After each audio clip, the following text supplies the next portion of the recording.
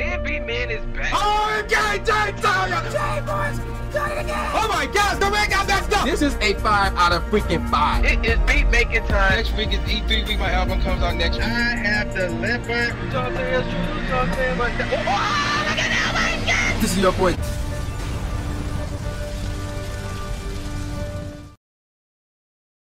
All right, ladies and gentlemen of the YouTube citizens, y'all know who this is. This is your boy Dash the Tru Inferno. And I'm back with another Overwatch gameplay. Now, before we get on with this topic, I just want to let you guys know that the Dashy mixtape year 3022 is out now. Head on over to truinferno.bandcamp.com to pick that joint up for absolutely free. So, for those of you who tried to do it but was scared off by the buy now fiasco and didn't scroll down to see how to get it for free, for some dumb reason, I'm gonna explain it to y'all how to get it for free. So yes, you click on buy now. Do not let that turn you away. You click on buy now. After you click on buy now, a small window will pop up, and in that window, it will ask you the amount you want to pay for all you do is hit zero, not 0.00 or 00.00, just zero. And it will instantly recognize that you want this album for, or mixtape rather, for free. So then I think, yeah, it will ask for your email. So, cause I think it will send it to your email, if memory serves it correctly. But if it don't, then they'll give you a link right there. If it do, then just give me your email and they'll email it to you. Um, again, I, I, forgot which way they're gonna go, whether the link or the email. But either way, that's how you get it for free. Dashies year 3022. Also, if you just want to listen to it, we got the DJ edition on my YouTube channel. You can um check that out as well. So, without the way, let's get on with today's topic. Now, today's topic is interesting because I keep pushing this back and back and back. And the reason why I'm doing it now is because of a video I saw on Sunday, this past Sunday, by ReviewTechUSA. So basically, he did a video that caught my eyes, and it was about how GameStop is closing around, I forgot the exact number, I know it's in the 200s, it's between 200 and 300. They are closing their stores by that number, 200 to 300 um stores. So, I'm watching the video. I watched the whole thing, by the way, and he said something very interesting. He said one of the reasons why, well, first off, you probably wondering why they closing two to three hundred stores. But let me point this out to you. This is only two to three percent of the stores worldwide that they're closing. So you're probably wondering why is that a concern? Because you're supposed to be opening stores, creating stores, not closing them down. That's why it's a bit of a concern. And ReviewTechUSA, one of his um, opinion is why, on regards to why GameStop closing their stores now, is because everybody, aside from everybody trying to go to Best Buy, Walmart, Target, wherever, which is pretty dumb in my opinion, but everybody is, or you know, most people are downloading their games, and I'm like, hmm, that's a reason. I'm gonna have to um, challenge him on that. So, this is the topic I've been meaning to do for many months, but other topics took significance over this one, and actually, I was going to talk about LaVar Ball this week. Well, I'm going to push that next week. So here we go. Digital copies versus physical copies.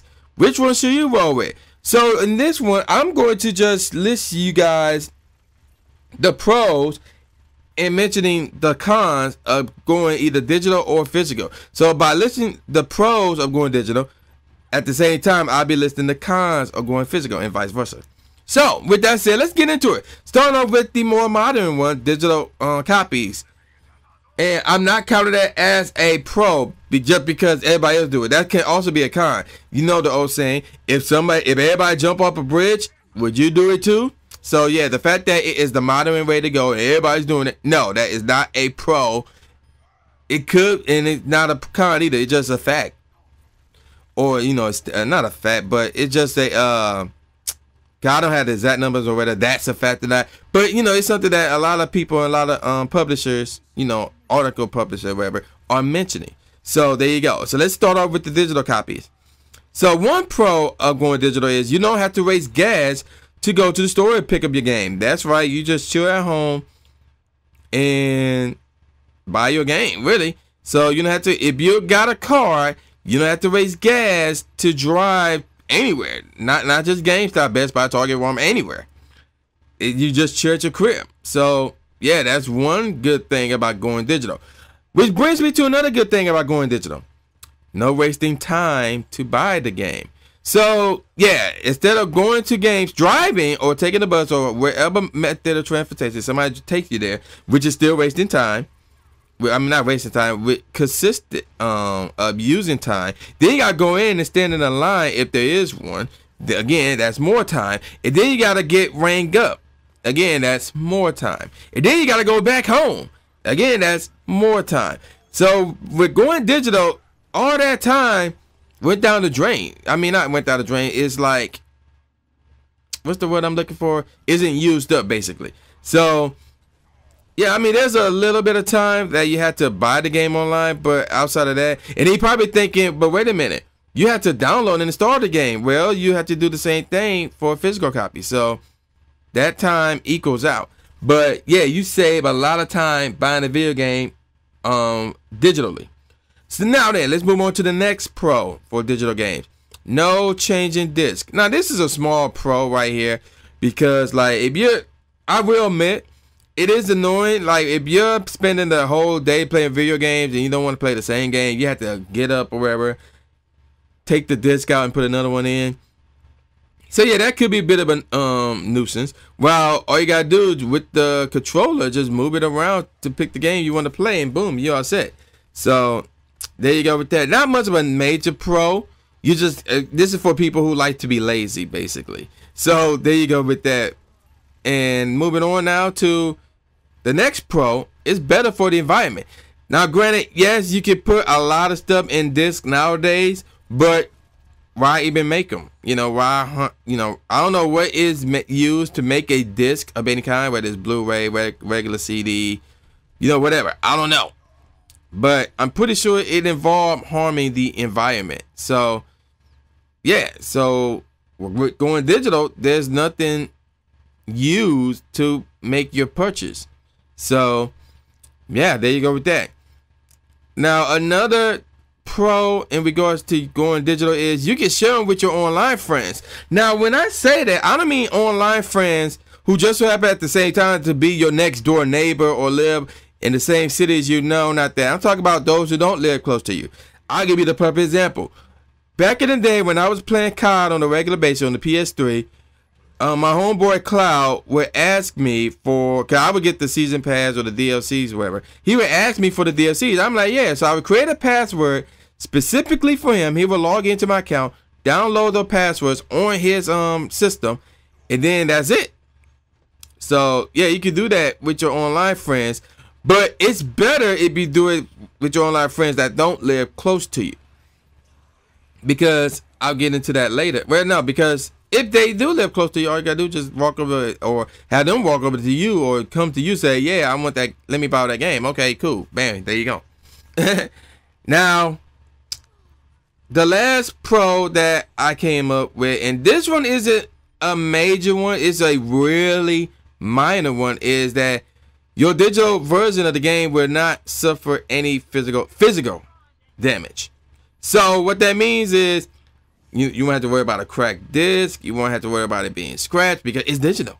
But at the, the reason why it's so minor though is because yeah, you won't you won't suffer any physical damages, but at the same time, you could suffer internal damages. Like for example, you know, a bug in your system, you know the game is um is flawed like you know it's digitally flawed and things of that nature and your your sister could be hacked and on the Wii U like oh you know something could happen to your system like even though your game can't suffer physical damage your system can and if that was the case for the Wii U and you had to get a brand new one and you download the games on there, then every downloaded game on that system is gone.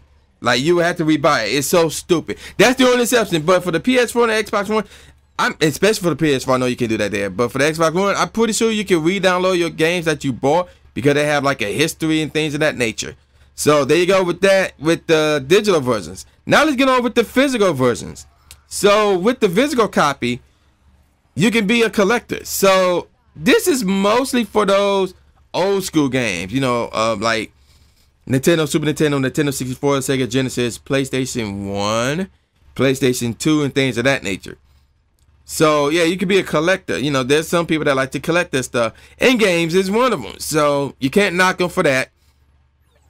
Another thing that is good for uh, another con, not a con, pro, excuse me, for physical games is you can like like I said earlier, you can share them with your um, friends. So again, your next door neighbor, your classmate, you know, well, as long as it ain't an online classmate, you know, somebody who is really close to you, you can share them with them.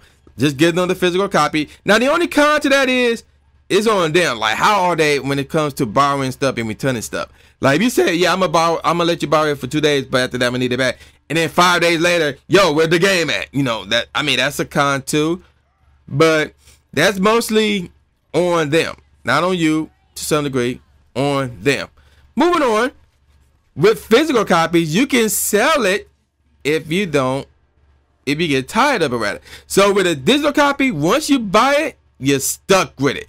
It's stuck in your system. You can't take it out and resell it for profit or anything like that. No, you're stuck with it. While with a physical copy, you can sell it if you get tired of it. So you can sell it to your friends, you can sell it to GameStop, you can sell it to any other retailer. You can sell it. So that's real good thing about getting a physical copy, especially if you buy it and don't think that you may like it or you buy it, you play it, and then you get bored with it. That happens. So why not sell it and put it towards something else? Which brings me to another point. You can return physical copies. Now this is mostly true for pre-owned games, aka used games. New ones you can't do that. Like you could get away with it depending on who you're working with. But pre-owned games you can definitely do that. Like if you don't like it or if you beat it within two or three days or whatever, then bam, just return it. You can actually return it. Now, another good pro for a physical copy is you can delete space on your system, and then that game you delete from your system, you can re-download it later. Yeah. So if your system starts to fill up with memory, and you have to make a choice between game A and game B, yeah, I'm gonna play game A. I mean, play. Ah, I'm gonna play game A and delete game B for now. And then once you get more room or you get a bigger hard drive, you can grab that disk for game B, re-download it, reinstall it, and boom, you're good to go. You can't do that with a digital copy because once you download it, it's gone. Is it gone for good? I mean, with the PS4, like I said, got that backup memories or that backup memory thing, so you could re-download it, you know, since you bought it. But I don't know. I don't want to go against it. So there you go with that. Now, another pro that is mostly major, but is somewhat minor as well, is the fact that you can pay for your physical copies with cash. Yes, there's some people still who are a little bit fearful and a little bit afraid of paying or using their credit cards and debit cards online because things can be hacked. It's been hacked before. So, but and you know, with the info on there, because when you purchase something online, you need your credit card info is not enough. They're gonna need your name, they're gonna need your address, and to some degree, they're gonna need your email address and your telephone number. So all that info can potentially be hacked. And the reason why this is most, I say it's mostly major, sometimes minor, is because we've seen this happen before as well. Black Friday cash registers at Target, I believe, got hacked. So yeah, buying physical games, you can get messed up as well. But it's more than likely to happen digitally than um physically. What I mean by that is it's more than likely to happen when, for you to buy physical games than it is for you to buy physical games. So yeah, there you go with that. So with all that out the way, which one should you go with? Well, it depends if you're buying a game that you know you're going to like and you're going to play it for a long time and you're willing to keep it and you don't mind giving up your credit card info, your debit card info, for things of that nature, go digital. Go digital. So, you know, again, you don't have to drive anywhere, waste time driving, standing in lines and things of that nature. It will be installed in your system. And again, as long as you ain't planning on deleting it anytime soon or at all, really, then go digital. Now, again, if you're fearful of using your credit card, debit card online, and you're not sure if you're going to like the game, you're not sure if you're going to keep playing the game for a long time and things of that nature, go physical. I recommend you go physical. So yeah, I do it both. I go both ways. Now you probably um mentioned it, but wait a minute. Is it cheaper to go digital than physical? It depends. If you're going Steam, obviously yeah.